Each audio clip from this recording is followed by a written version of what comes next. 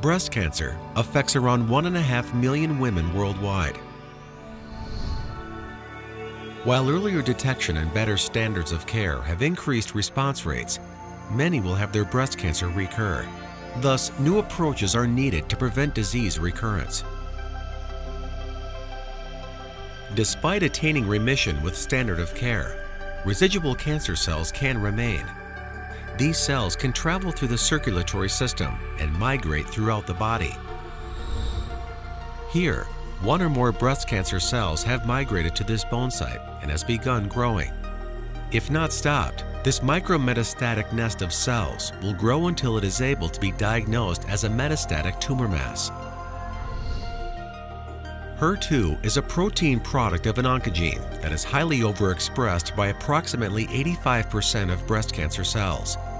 In vitro and in vivo studies have identified the NeuVax peptide sequence as being the most immunogenic fragment isolated from the extracellular domain of the HER2 receptor.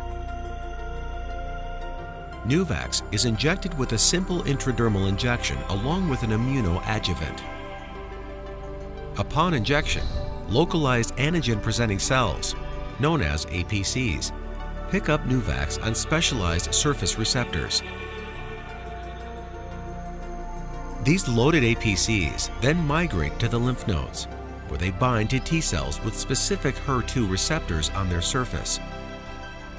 Upon binding, a rapid expansion of T cells specific for HER2 expressing proteins takes place. Millions of NeuVax-specific T cells leaves the lymph nodes and circulates throughout the body seeking out HER2-expressing cells and micrometastases.